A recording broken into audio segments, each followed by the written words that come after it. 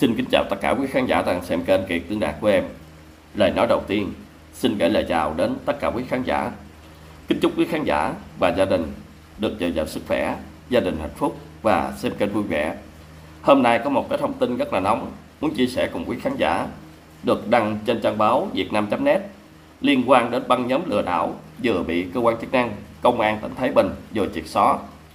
Băng nhóm này hoạt động rất là tinh vi, nấp bóng vào phía công ty doanh nghiệp và tạo ra rất nhiều cái trang fanpage giả có trang để lương nghi Giang Thị Nhàn, bà Nhàn Chị Nám quảng cáo câu nhữ những con mồi là chị em phụ nữ ham đẹp, nhẹ dạ cả tin mua các thực phẩm chức năng của họ khi sử dụng vào thì tiền mất và tật mang. Kính thưa tất cả quý khán giả, liên quan đến vấn đề thằng y, lương y, thằng thánh đó thì chúng ta cùng nhìn nhận lại trong câu chuyện của bà Nguyễn Phương Hằng. Bà Hằng đã không biết mệt mỏi, gào thét trên mạng xã hội trong suốt một khoảng thời gian rất là dài. Để mong rằng quý khán giả giữ được cái túi tiền và hiểu ra được trên đời này là không có thằng y, thằng thánh. Nhưng bây giờ khi bà Nguyễn Phương Hằng bị khởi tố và bắt tạm giam cũng đã hơn một năm qua thì bây giờ cái hy vọng đó nó lại nhen nhóm trở lại. Có một số người còn đặt niềm tin trông chờ một ngày nào đó sẽ gặp lại ông Lan Bông ông thằng Y đó để cho ông này ông chữa bệnh thì ở đây tôi thật sự hết sức bất ngờ. Đến giờ phút này mà ai đó vẫn còn nuôi hy vọng đem con của mình đến cho ông Lương Y, ông thằng Y này chữa bệnh đó, thì tôi thật sự là tôi không tưởng tượng nổi. Trong suốt khoảng thời gian hơn 2 năm qua, không có bất cứ một bệnh nhân nào lên tiếng là xác nhận đã từng được ông này là chữa hết bệnh. Nhưng mà một số người vẫn còn u mê. Thì liên quan đến cái thông tin đó là tôi gửi cho quý khán giả một cái trang Facebook này. Đây quý khán giả thấy có cái tên là Lương Nghi ha có cái tên đây cái trang Facebook nè. Không biết thật hay là giả. 1,8k lượt thích 5,5k người theo dõi. Có cái tên là Lương Y Võ Hoàng Yên. Là ở đây cái trang này có cái dấu tích xanh ha. Đây để quý khán giả nhìn nè. Y tế và sức khỏe ha. Đây tôi cho quý khán giả nhìn theo dõi cái thông tin này rồi tôi sẽ chia sẻ lại cùng quý khán giả thông tin tiếp theo. Đây ngày 4 tháng 1 vẫn còn một số người đây, chúc thầy luôn vui vui vẻ và bình an. Mới có 27 tuần 27 tuần đây. Đấy, vẫn còn bình luận nha. Đấy, quý khán giả thấy, cho thấy người dân vẫn còn đặt cái niềm tin là một ngày nào đó ông này sẽ phục hồi lại cái đế chế trong vấn đề chữa bệnh. Đây là tháng 10 đây, những cái đoạn video clip mà câu nhữ những con mồi đến giờ phút này nó vẫn còn lan truyền trên mạng xã hội.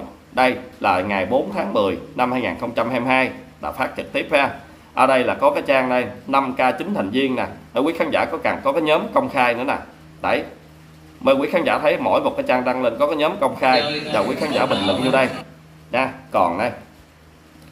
Còn một số người vẫn còn tin tưởng mà vẫn còn u mê là một ngày nào đó ông thằng y này ông còn phục hưng cái đế chế để quay trở lại trong cái vấn đề chữa bệnh ha. Đây quý khán giả nhìn rất nhiều liên quan rất nhiều những cái đoạn video clip mà ông này ông chữa bệnh.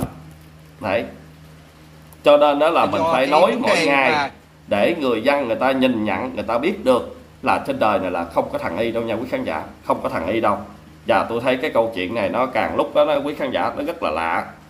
Để tôi à, bấm lên thử cho quý khán giả xem nha. Câu chuyện này nó lạ lắm. Đến giờ phút này mà vẫn có một số người vẫn còn vẫn còn u mê vẫn còn mê muội trong cái à, vấn đề mà chờ đợi ông này là ông quay trở lại là ông phục hưng cái đế chế của mình đó quý khán giả. Để quay trở lại trong vấn đề chữa bệnh ha. Đấy. Quý khán giả thấy có rất nhiều trang facebook ha. Ở đây để là y tế và sức khỏe 5,5k người theo dõi nè. Để quý khán giả cứ bấm lên cái trang đó ha. Và trước đây có xuất hiện rất nhiều cái tin đồn là trên đây có một cái trang fanpage.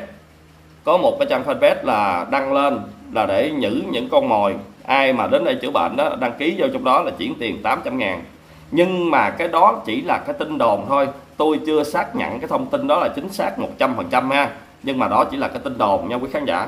Tin đồn thôi. Chúng ta không biết là như thế nào. Đây, quý khán giả thấy nè. Cái tên này đấy, có cái tên là võ hoàng yên, thằng y, qua đà tả thế. Đây, quý khán giả thấy chưa? Rõ ràng không? Tôi nói cái nào đâu phải mình có cái căn cứ, cái bằng chứng đàng hoàng mình mới nói người ta. Rất nhiều những cái trang ờ, facebook giả, facebook ảo rồi trên đây. Đấy mà cái trang này chưa chắc là cái trang giả nha. Tại vì chặn cái bình luận nè. Đấy chặn cái bình luận thì mình chưa chắc đây là cái thông tin giả nha. Đấy. Quý khán giả nhìn cũng có một ờ, số người rất là nổi tiếng ha, chụp hình chung đó. Thì đây, tôi ờ, xin mời quý khán giả cùng nghe cái thông tin này trên cái ờ, trên cái bài báo này Việt Nam.net hành trình bóc gỡ đường dây lừa hàng nghìn phụ nữ mua thuốc trị nám. Hàng nghìn người trên cả nước, chủ yếu là chị em phụ nữ đã dính phải đường dây lừa đảo mua thuốc, trị nám, bà nhàn các bị hại mất trắng hơn 100 tỷ đồng. Tại quý khán giả thấy một cái con số rất là khủng khiếp không? Những cái thông tin như này thì chúng ta phải phát tán, lan truyền ra ngoài để cho người dân, người ta nhận thức ra được, người ta tránh cái đường dây lừa đảo này. Và hôm nay quý khán giả xem cái bài báo này, coi họ lừa đảo như thế nào. Họ lừa đảo bằng một cách rất là khủng khiếp luôn. Còn kể cả tôi nói quý khán giả từ ngang ngửa với Lan Băm, cái tập đoàn của Lan Băm với cái tập đoàn này là nó rất là trùng hợp, rất là giống nhau đường dây lừa hàng nghìn người chủ yếu là lừa bán thuốc trị nám cho chị em phụ nữ vừa được lực lượng công an ở Hà Tĩnh triệt phá thành công. Hành trình bóc gỡ phá án của lực lượng công an tỉnh Hà Tĩnh à, cũng gặp không ít khó khăn. Do nhóm đối tượng này làm việc hết sức tinh vi chuyên nghiệp. Theo cơ quan điều tra mới đây chị T chú là huyện Thạch Hà đến công an trình báo về việc chị bị nám tàn nhang nên đã lên trên Facebook tìm kiếm các sản phẩm thực phẩm chức năng à, để điều trị tàn nhang. Xong quá trình dùng thuốc không hiệu quả mà lại tiền mất và tật mang. Cụ thể đầu tháng 8 năm 2022 chị T lên trên mạng xã hội tìm và biết đến một trang Facebook có cái tên là bà Nhàn. Sau đó chị T liên hệ với trang này mua 6 đơn của sản phẩm chị nám với tổng giá trị là 16 triệu đồng. Gặp tôi tôi không mua quý khán giả. Tôi tôi không bao giờ tôi mua hồi đó tôi bị uh, lòi để điểm cổ đó. Người ta kêu tôi mua một liệu trình là 3 triệu 6 là tôi đô liền. Tôi đô ngay tại chỗ luôn. Không biết uh, cơ sở đó ở đâu mà bỏ tiền ra mua là tôi không bao giờ tôi mua. Ngay cái vấn đề thuốc là nó rất là nhạy cảm. Đến khoảng đầu tháng 4 năm 2023 có một người tự xưng là nhân viên thuốc chị nám bà nhàn gọi cho chị T để hỏi chị T là dùng sản phẩm liệu trình có hiệu quả hay không. Khi chị T trả lời dùng thuốc không có hiệu quả thì người tự xưng là nhân viên, hứa hẹn sẽ liên lạc qua Zalo, hướng dẫn và hoàn trả lại tiền. Hướng dẫn hướng dẫn qua Zalo để hoàn trả lại tiền nha, khi chúng ta sử dụng không có hiệu quả. Rồi qua Zalo này lừa thêm cho một chập nữa. Sau đó, các tài khoản Zalo mang tên Đình Phong và anh giám đốc thường xuyên liên lạc và yêu cầu chị T chuyển khoản tiền, chi phí là 116 triệu đồng qua nhiều số tài khoản khác nhau để làm thủ tục hoàn trả tiền tin tưởng nên chị T đã chuyển tiền theo yêu cầu của các đối tượng, nhưng vẫn không nhận được tiền bồi thường các sản phẩm.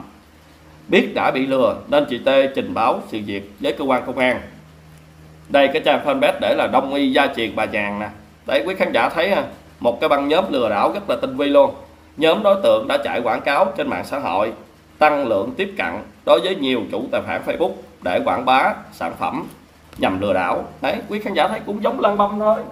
Ờ, không lan băm đăng video lên youtube, lên facebook, rồi kia đăng cũng vô tội dạ rồi kia tới câu nhữ những câu mồi chứ đăng lên đó để làm gì? Tiếp nhận tin báo, cơ quan cảnh sát điều tra công an huyện thạch hà xác định đây là một tổ chức lừa đảo chuyên nghiệp nấp bóng doanh nghiệp với số lượng bị hại lên đến hàng nghìn người. Riêng tại Hà Tĩnh là có 5 nạn nhân bị công ty lừa đảo chiếm đoạt 500 triệu đồng. Quá trình điều tra, công an huyện Thạch Hà xác định đứng sau đường dây này là công ty trách nhiệm hữu hạn đầu tư và phát triển Khang Thịnh do Ngô Di Khánh sinh năm 95 trú tại Tam Thanh huyện Vũ Bản tỉnh Nam Định làm tổng giám đốc. Sinh năm 95 mà làm tổng giám đốc rồi khủng khiếp chưa? Ừ.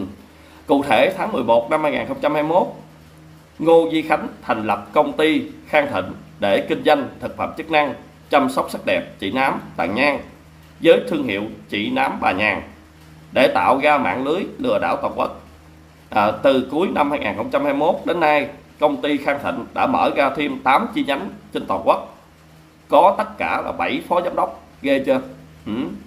riêng ra Khang Thịnh nó không là 7 phó giám đốc mà 8 công ty. Để quý khán giả thấy một cái băng nhóm đó mà lừa đảo bị bắt đó.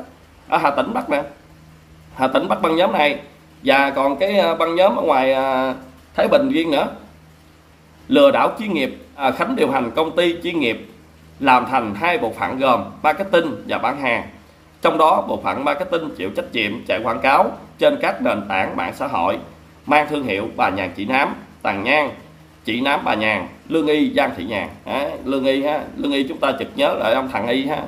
Sau khi khách hàng tiếp cận các trang fanpage và để lại số điện thoại nhân viên marketing sẽ lấy các số điện thoại của khách hàng vào trang web quản lý thông tin đơn hàng và có địa chỉ trên vinmart1.com còn bộ phận tư vấn bán hàng thì các nhân viên sau khi được tuyển vào làm việc được công ty cung cấp sim điện thoại không chính chủ để gọi điện tư vấn các sản phẩm. Sau đó chúng tư vấn cho khách hàng à, theo kịch bản được dựng sẵn. Thấy chưa? Tổ chức lừa đảo mà lừa đảo có tổ chức. Sau khi khách hàng mua các sản phẩm được một thời gian nhân viên tư vấn tiếp tục liên lạc với khách thông qua gọi điện thoại trực tiếp hoặc là Zalo hỏi khách hàng về hiệu quả sử dụng các sản phẩm. Nếu không hiệu quả thì khách hàng có thể làm hồ sơ để bảo hành. À, mục đích là để lừa đảo chiếm đoạt của khách hàng. Nếu khách hàng đồng ý làm hồ sơ bảo hành thì nhân viên đề nghị khách hàng chuyển tiền vào trong à, số tài khoản theo yêu cầu. Để tạo sự tin tưởng nhiều nhân viên cùng liên lạc tư vấn bảo hành cho một khách hàng. Vào nhiều vai khác nhau như tưởng tượng là bộ phận bảo hành giám đốc và trưởng khoa sau khi khách hàng đã chuyển tiền, nhân viên tư vấn tiếp tục đưa ra nhiều lý do khác nhau à, để khách tin rằng mình đã được làm hồ sơ để bảo hành và yêu cầu khách hàng chuyển thêm tiền. Đánh vào tâm lý muốn lấy lại tiền của khách hàng sử dụng các sản phẩm không hiệu quả, các nhân viên tư vấn đã nhiều lần yêu cầu khách hàng chuyển tiền. Số tài khoản ngân hàng nhận tiền của khách là tài khoản của bưu tá, nhân viên chuyển phát của bưu điện mà nhân viên tư vấn của ờ, Khang Thịnh quen biết từ trước đó. Mỗi lần khách chuyển tiền theo yêu cầu nhân viên sẽ tạo một mã code thanh toán xong mới nhận hàng. Về địa chỉ gần bưu tá làm việc rồi tự mình liên hệ với bưu tá nói rằng số tiền vừa chuyển vào trong tài khoản là để thanh toán tiền đơn hàng.